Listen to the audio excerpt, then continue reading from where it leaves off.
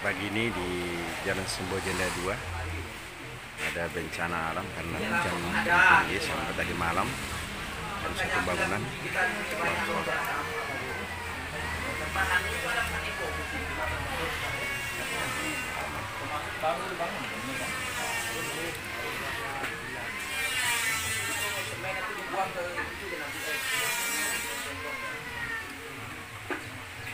Arah ya? Iya, pokok-pokok agak arah ke tanah mana tadi tidak.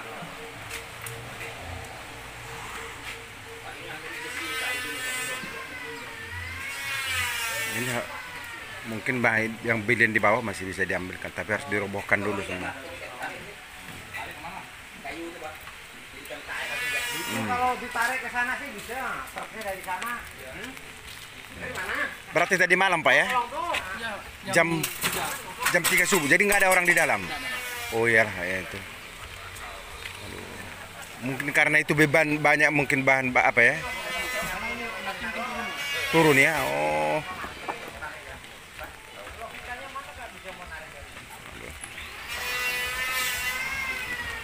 Karena pondasinya mungkin turun. Hujan lebat ini. Hati-hati Pak ya. Eh, nanti itu kan bergeser kan?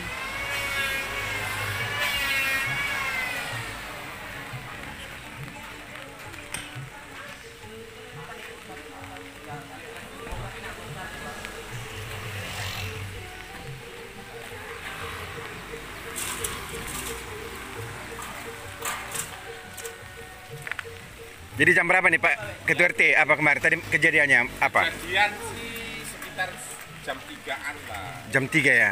Berarti ada suara juga ya? Ada tapi kan posisi hujan tak nyaring lah. Oh iya. Aduh. Itu loh saya nggak tahu baru saya mau Kayak turun. Pulang dari pasar tuh Hmm. enggak ngeh gitu Wah, enggak, enggak perhatikan. Tapi sekali dia itu beli kopi ke atas dia enggak tahu aku. Aduh. Kayu yang sana tuh yang atas tuh bumbu. Ini mau kita tarik. Berarti mau ditarik ya?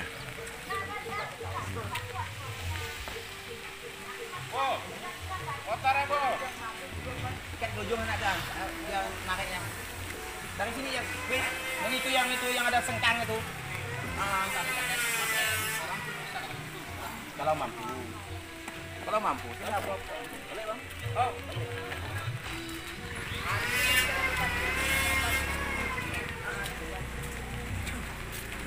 Sekarang kondisinya jalan sebagian Oh ya, oke.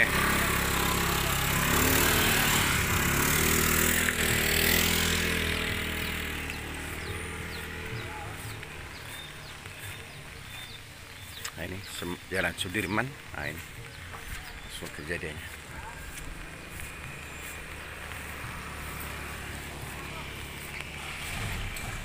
Lagi mau ditarik.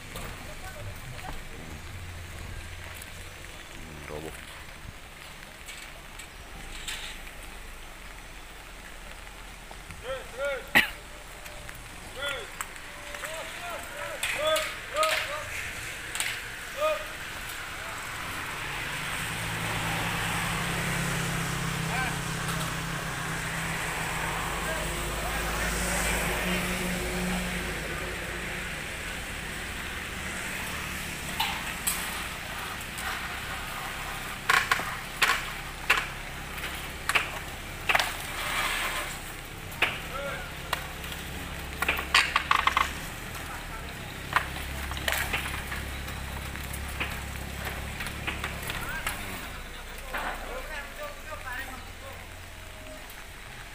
Dia dia nggak ada dapat dia.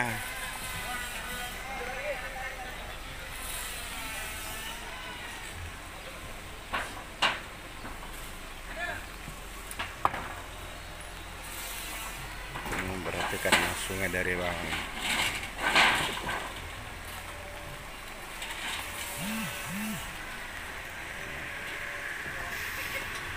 Hancur semua ini bangunan-bangunan semuanya sudah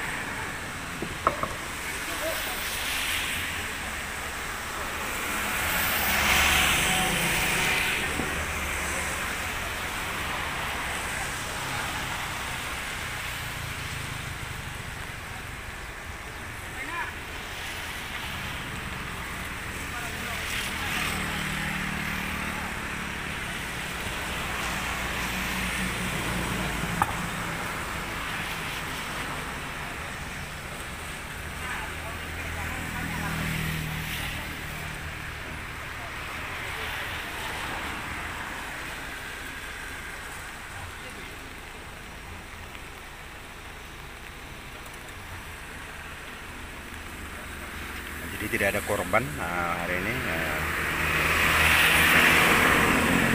senang karena yang tinggal di sini ada bengkel bengkel untuk apa ini untuk buat teralis teralis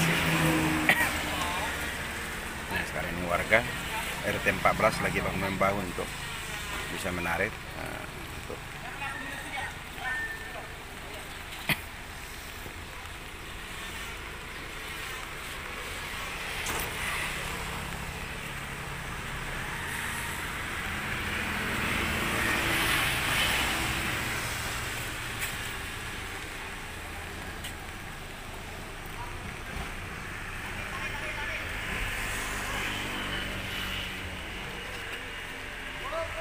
Oh.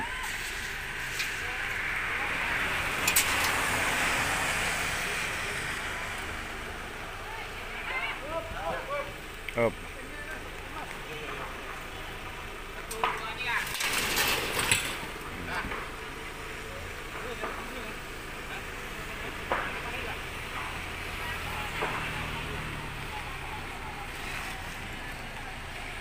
Ini semua hancur semua, Eh, dua lantai roboh semua.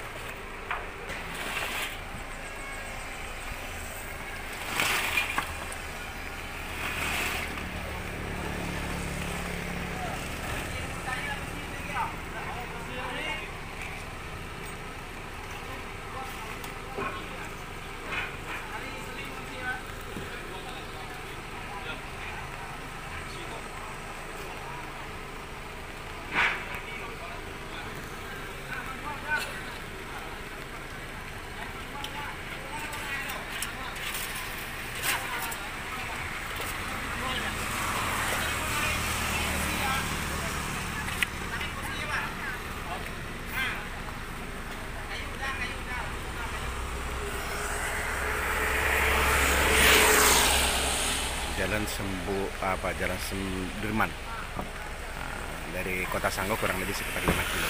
Ini Jalan Sembu Jalan 2.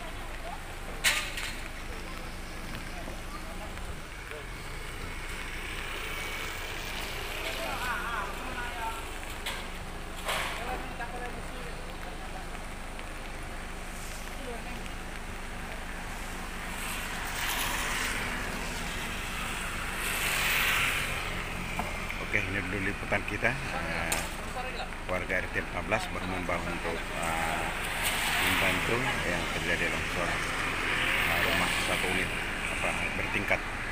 Mungkin karena pondasinya tidak kuat, beban berat dan ada sungai di bawah. Menjadi oke. semoga kejadian ini bisa pembelajaran untuk kita semua